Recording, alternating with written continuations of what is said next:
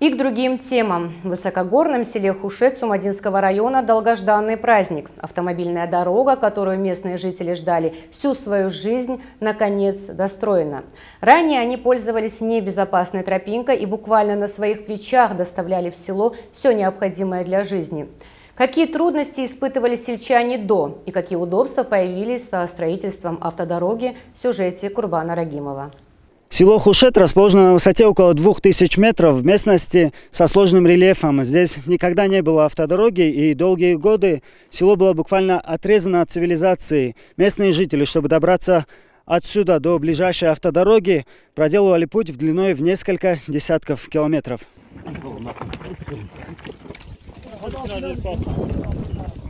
Зимой по льду и летом в жару. Вот так, пешком, на себе и зачастую на ослах. Жители села Хушет доставляют продукты, стройматериалы и все необходимое для жизни. А кадры, где сельчане по узкой горной тропинке несут больную беременную женщину, разлетелись по всей стране. Теперь все эти трудности позади. Новая автодорога значительно упростит жизнь хушетинцев. Мы можем глазам видеть, и даже местные жители душой не можем верить о том, что уже у нас есть автомобильные дороги. Конечно, это просто безупречно, это словами не передать. Кто занимается стройкой, кто занимается хозяйственной деятельностью, то есть все можем теперь на машине возить. А то, что касается на ослах, на других транспортах, это было очень трудно. И некоторые вещи попортились по дороге, некоторые даже купили новые, но не добирались до дома. Тоже такие были моменты. Наши деды, наши родители начинали с Ичада Майдана сюда пешком Три дня добирались, муку доставляли, всякие продукты. И вот так, короче, жили раньше. Десять там назад, если мне сказали бы, что я вот это все вот здесь увижу, я, наверное, не поверил бы. Я сказал бы нет.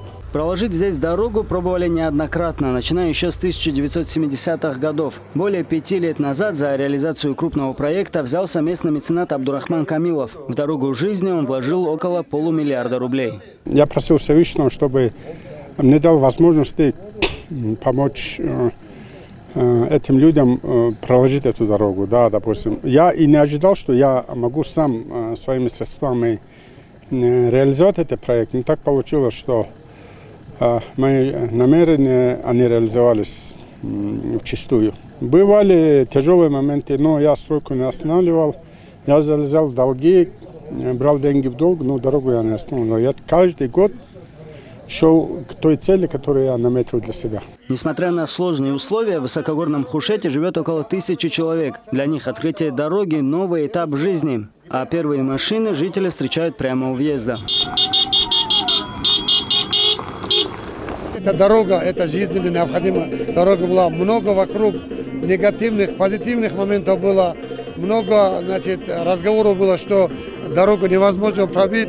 Значит, проложил наш Абдурахман э, Саидович, э, довел до конца. Ну, вы видели лица э, благодарных учительниц. Это малая часть. Они же в основном значит, на сезонных работах, они за пределами. Конечно, уже вот неделю назад уже дорога открыта. Но мы, конечно, уже планируем, мы уже запроектировали, конечно, более нормативно-качественное состояние ее провести.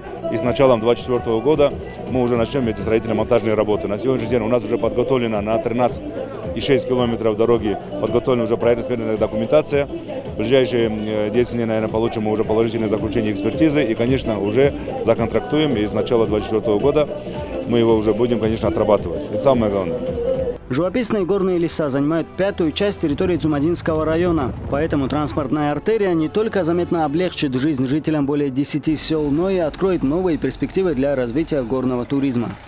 Курбан Рагимов, Нурмагомед Магомедов, телеканал ННТ, Цумадинский район.